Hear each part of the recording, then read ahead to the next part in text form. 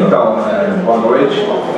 Realmente a gente, a gente trabalhou para conseguir o um resultado positivo. Era, era a ideia, a ideia nossa realmente de tentar largar na frente, mas sabendo é, da, das dificuldades e, e, da boa equipe que nós iríamos enfrentar. Mas de um modo geral, acho que, que o Botafogo, é claro que, que o torcedor talvez se tivesse saído daqui com um empate, com um gol, sairia pouco mais feliz, né? Que sempre quer ver o gol. Mas, mas ao mesmo tempo, o, o torcedor do Botafogo tem certeza que essa equipe tem deixado ele orgulhoso, né? Que é uma equipe que até em outros momentos, quando a gente perdeu os jogos, nós jogamos contra os grandes de uma maneira de igual para igual. Em momento algum a gente foi, nós fomos uma equipe omissa de só marcar. Né? É claro que em momentos do jogo você acaba tendo que baixar um pouco a marcação, é, até porque a gente não consegue gladiar 90 minutos de igual para igual. Em alguns momentos nós temos que baixar a marcação, mas sempre quando tem a posse de bola, procura criar é, alternativas para chegar no gol do adversário. Hoje, diferente dos jogos contra é, São Paulo, Corinthians, o Santos marcou muito bem as, as jogadas, as principais jogadas que nós temos no aspecto ofensivo. Então foi um pouco mais difícil a gente criar é, boas chances de, de, chances claras de gols. Né? É, tivemos aquela com o Daniel no primeiro tempo, tivemos algumas finalizações assim, mas sem, sem muito sucesso, assim como o Santos também. Nós conseguimos, estudamos bastante a equipe deles, principalmente o último jogo da Libertadores, que eles venceram em casa.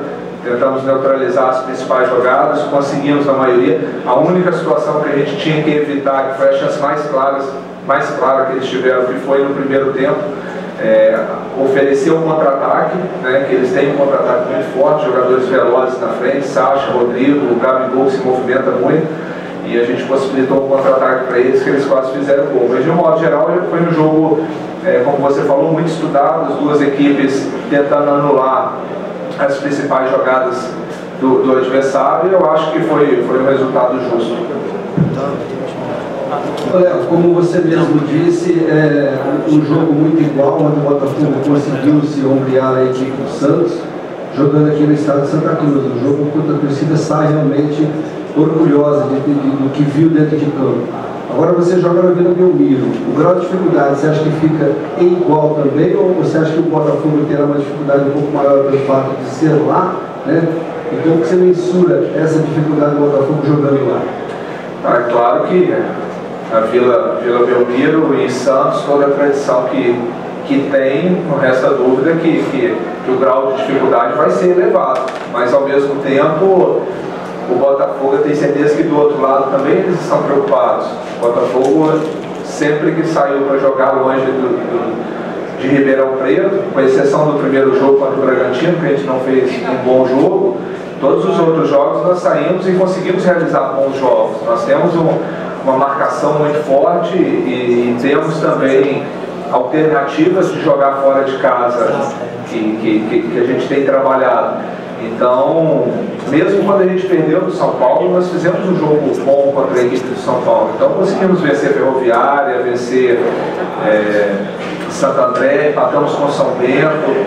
Então, nós fizemos bons jogos longe longe de Ribeirão e, e, o pensamento nosso, de todos, é que está aí aberto a, a, disputa, respeitamos muito a tradição do Santos, respeitamos a questão de jogar no, no campo deles, mas o torcedor não entra em campo. Ele pode incentivar, dar um gás a mais para a equipe deles, mas ali dentro, se a equipe apresentar essa postura que apresentou hoje de entrega, de dedicação dos jogadores, nós podemos sim voltar de lá com, com, com um bom resultado. José, boa noite. É, você falou bem do jogo, eu queria falar agora do Condé. Antes da partida, a gente recebeu a informação que você tinha algumas propostas, inclusive já pensando no segundo semestre. Uma dessas propostas seria da Série B, é, da série B do Campeonato Brasileiro da Ponte Preta, pelo menos uma sondagem, e de um time de Goiás. Como está a cabeça do Leonardo Condé nessa reta final do Paulistão? Tem essas propostas de fato? Falo com, com, total propriedade, não chegou nada até mim, não tem proposta nenhuma e a cabeça totalmente voltada para esse confronto com o Santos. E não, e não pode ser diferente, né? Pelo, por tudo que o Botafogo tem, tem representado para mim, por tudo, todo o comprometimento dos jogadores é, do torcedor que abraçou a equipe, né, onde existiu uma desconfiança muito grande no início do trabalho, que é normal, até pelas, pela série de mudanças que teve, mas o torcedor abraçou a equipe, fez uma brilhante festa que hoje eu tenho muito respeito pelo Botafogo. É, o torcedor pode ter certeza disso, que a cabeça está totalmente voltada para esse confronto com o Santos. André, boa noite. É, algumas coisas não funcionaram hoje no jogo do Botafogo a Nova pelo lado direito, que é uma das principais apostas do time, hoje não foi tão efetiva, não funcionou de fato. E o Bruno Moraes ficou bastante isolado no ataque. A bola chegou muito pouco para ele poder participar do jogo. O que fazer no próximo confronto contra o Santos é, esses erros não se repitam e o Botafogo joga de uma forma mais conjunta, joga de uma forma é, mais próxima, sem tantos espaços do time como o próprio Nando falou, foi um jogo muito estudado. Né? Hoje, chega nesse momento, todas as equipes procuram neutralizar o que, que as outras têm de forte. O Rodrigo, que foi o melhor jogador deles no último jogo, também não, não conseguiu, conseguimos marcá-lo bem. Então, as principais jogadas do Santos, a gente conseguiu de uma certa forma também neutralizar, assim como eles neutralizaram a nossa. Às vezes, de repente, a avaliação é do que a gente errou, mas às vezes a gente erra não, não é só pela questão técnica ou pela questão da, da, da, movimentação, erra também porque tem um adversário qualificado do outro lado que, que neutralizou. Naturalmente, nós vamos observar o vídeo amanhã, ver de algumas possibilidades, algumas formas que a gente pode também é, melhorar no, o nosso sistema defensivo e também explorar é, algumas situações que o Santos possa nos oferecer nessa partida de volta. Você pediu é, que houvesse uma melhora nesse, depois, de, depois de três derrotas para os times você conseguiu um empate. Essa melhora realmente houve, você conseguiu um resultado um pouco melhor.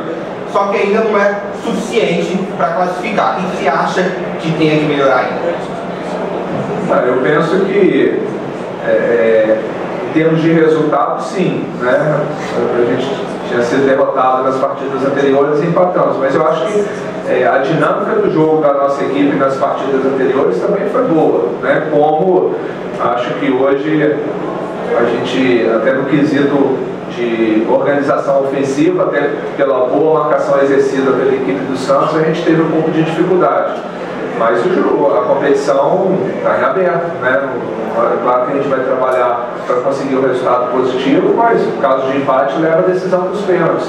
Do outro lado também, um adversário qualificado, um adversário muito bem treinado pelo Jair, tem camisa, tem tradição, mas que tem certeza que eles, eles também estão preocupados, sabe que do lado de cá o Botafogo é uma equipe que, que se mostrou forte dentro da competição e vai tentar fazer um bom jogo lá, um jogo. Nós temos que manter a concentração que a gente teve aqui hoje na parte defensiva e tentar ser um pouquinho mais objetivo é, na, na, nas ações ofensivas. André, é, eu vi hoje o Thiago Cardoso se jogar nos pés do, do atacante e dar o rosto para ser chutado. Eu vi o Plínio pôr a cabeça numa bola violentíssima no meio do caminho para desviar a trajetória. Eu vi o William voltando de contusão sendo um dos maiores ladrões de bola da partida e vi o Jones dando carrinho na lateral do campo, de levantar, vibrando, como se tivesse feito gol. Essa, essa entrega, esse espírito, a parte, o jogo da bola, é possível ser levado para a vida dele? Ah, com certeza.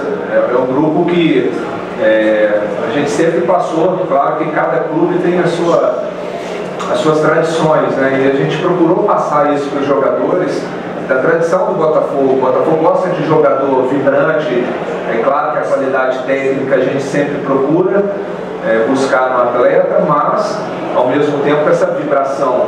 E o torcedor hoje, ele viu uma equipe vibrante, não só hoje, como em várias outras partidas. Né? Hoje, até pelo caráter de decisão elevado, os jogadores acabam se empenhando mais. Mas é um grupo, como em outros coletivos eu citei, muito comprometido. Os, os jogadores têm orgulho de vestir a camisa do Botafogo e, e realmente tem se doado o máximo. O Thiago no jogo contra Santo André saiu com a orelha cortada, o Jones hoje cortou ali a supercílio, então os jogadores realmente, digamos assim, o chavão, estão dando a vida pelo Botafogo. Né? Passou por uma série de dificuldades que vocês sabem, e em momento algum ficou ninguém lamentando, muito pelo contrário, contrário trabalhando. Eles ficaram muito chateados quando levantou é, aquela questão do jogo do Linense de que ah, fizeram corpo mole, aquela coisa, eu nunca teve isso. Nós fizemos um jogo ruim contra o Linense e o Linense também fez um jogo bom, mas esses jogadores são altamente comprometidos. É claro que no grupo de 30, às vezes um ou dois pode destoar um pouco, mas de um modo geral, os jogadores extremamente comprometidos e, e tenho certeza que nesse jogo da Vila não vai ser diferente. Vamos continuar com essa, com essa pegada. Rodé, como você mesmo disse, o Botafogo conseguiu construir várias jogadas, o Botafogo conseguiu envolver a equipe do Santos na armação das jogadas. O penúltimo passe, eu não sei se você vai concordar comigo, que hoje parece que pecou um pouco, principalmente os cruzamentos, erraram muitos cruzamentos. É, você também concorda com isso? Você acha que esse é um, é um fundamento que tem que ser até trabalhado não vai dar porque não tem tempo, né? Você está muito em cima do jogo, mas que dá para tentar conversar com os jogadores? É, realmente, esse penúltimo passe nosso hoje deixou muito a desejar. Faltou mesmo um capricho maior ali para colocar o Bruno em condições. Até o Jones achou o passe ali, a bola fugiu um pouquinho do peito do, do Bruno ali. Foi uma bola, uma bola boa. E, e os cruzamentos também a gente pegou muito, principalmente do lado direito ali, com, com o Martins e o, e o Taylor, mas são jogadores que têm uma boa batida na bola. É, nesse momento agora não tem muito o que fazer. É claro que pedir para que eles, até pelo, às vezes pela, pelo grau de, de, de exigência do jogo, pelo, por ser uma disputa, ser um mata-mata, acaba de repente em alguns momentos um, um, certo nervosismo faz com que os jogadores errem também. Como os jogadores do Santos em alguns momentos também erraram esse tipo de situação. Mas eu acredito que, que com uma boa conversa e alguns ajustes ali, nós vamos, nós vamos procurar ajustar esse, esse setor. Léo, você está vendo essa quartas de final do Campeonato Paulista mais disputado de todos os tempos, uh, tirando o Palmeiras aí que ganhou 3 a 0 contra o Horizontino, o São Caetano venceu o São Paulo, o Bragantino venceu o Corinthians e o Botafogo empatou com o Santos, está tudo em aberto. O Botafogo, mesmo empatando, ainda pode classificar-se aí nas penalidades máximas. Ah, o campeonato é muito bacana, né? É, eu acho que a gente vinha batendo muito nessa tecla, né? O Campeonato Paulista, ele teve uma goleada que foi do Corinthians sobre São Caetano e agora teve essa do Palmeiras no Novo Horizontino. Eu acho que não teve nenhum outro placar com mais que, que dois gols de diferença. Posso estar, posso estar enganado, mas eu, então foi um campeonato muito equilibrado. E agora, nessa fase também, como você falou, tirando esse jogo do Palmeiras com o Novo Horizontino, todos os jogos muito equilibrados e penso eu que que, que está totalmente aberto aí a definição das marcas.